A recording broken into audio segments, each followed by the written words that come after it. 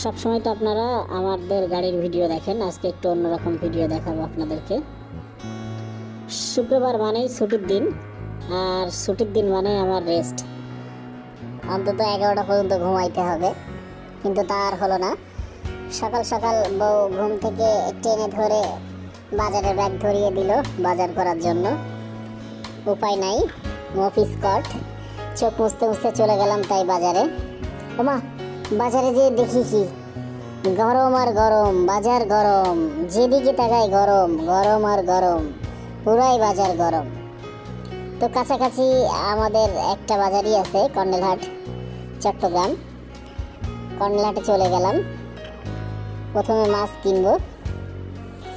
মাছ দেখি এখানে সামুদ্রিক মাছই বেশি, কারণ সমুদ্র এলাকা তো। এখানে বেশিরভাগই আপনার সাগরের মাছ পাওয়া যায়।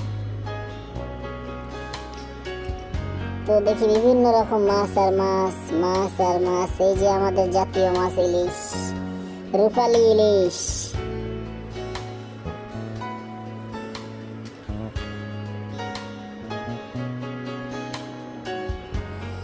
এত মাছের ভিড়ে কি মাছ যে কিনি, বুঝতেই পারছিলাম না। এইগুলো কোরাল, রূপচাঁদা। এইদিকে কি মাছ নিব, কি মাছ নিব ভেবে পাচ্ছিলাম না। অবশেষে আমাদের জাতীয় মাছ নিলাম, পাঙাশ।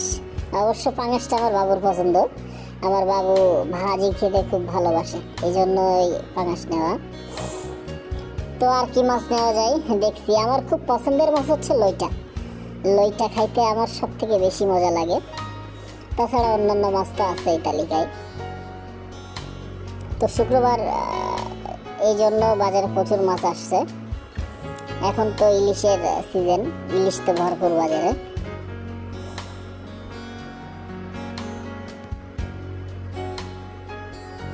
এটা হচ্ছে কোরাল মাছ, বড় কোরাল। এখানে কাটা পাওয়া যায়। এটা হচ্ছে আপনার আমরা অনেকে বলি কাউ মাছ, অনেকে সুরমা মাছ। বিভিন্ন নামে ডাকে। আপনারা, আপনাদের এলাকায় কে কি নামে ডাকেন, আমাদেরকে কমেন্টে জানাবেন। এটা হচ্ছে আপনার চিটাগাংয়ের ইলিশ। তো চিটাগাংয়ের ইলিশটা কি? চিটাগাংয়ের ইলিশ আপনার অন্য জায়গার ইলিশের থেকে একটু স্বাদ কম, মাছগুলো একটু লম্বা হয় আর কি। বাবুর জন্য ডিম নিচ্ছি, মাছের ডিম। মাছের ডিমের কেজি শুনেই তো আমি অবাক, আটশো টাকা কেজি। মাছের থেকে মাছের ডিমের দাম বেশি, এটা কোনো কথা হইল? কোথায় আছি আমরা? যাই হোক, এখন খেতে হবে, উপায় নাই। কিছু ইলিশ নিলাম, মাছের ডিম নিলাম বাবুর জন্য। এদিকে ডিম মামা ডাকতেছে ডিম ডিম। আমাদের ব্যাচেলার পয়েন্টের ডিম। বাবুর মাছটা নিয়ে কাটতে দিলাম। মামা দেখি ঘসং ঘসং করে কেটে পিস পিস কইরা দিল। তাড়াতাড়ি করে লইয়া চলে আইলাম। এখন মাছ কেনা শেষ, এখন মাংসের পালা। মাংসের দোকানে যেয়ে দেখি তো মাংস আগুন আগুন, গরম আর গরম। যাই হোক, মামাকে কইলাম রাম থেকে সলিড মাংস কাইটা দিতে। মামা রাম থেকে সলিড মাংস কাইটা দিল। এই দিকে দেখি লইটা আপা আমার দিকে তাকায়। আমি লইটা খাইতে পছন্দ করি না। লইটা আমার একটু কমই পছন্দ। তো এই বাজারটায় আসলে আপনার সব ধরনের জিনিসই পাওয়া যায়। আর শুক্রবার যেহেতু, শুক্রবার বাজারে অনেক ভিড় ছিল। এটা একটা সুরমা মাছ, অনেক বড় সাইজের। বাজারের সব থেকে বড় মাছ বলা যায় এটাই। শুক্রবারে ছিল। তো শুক্রবারে অনেক ভিড় থাকে। সাধারণত কমই বাজারে আসি।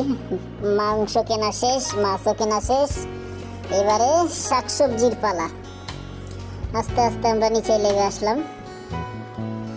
নিচে লেগে শাকসবজির দোকানের দিকে যাচ্ছি। প্রথমেই লাউ মামা আমাকে টাটা দিয়ে ওয়েলকাম জানালো। পরে দেখি গাজর মামাও আছে।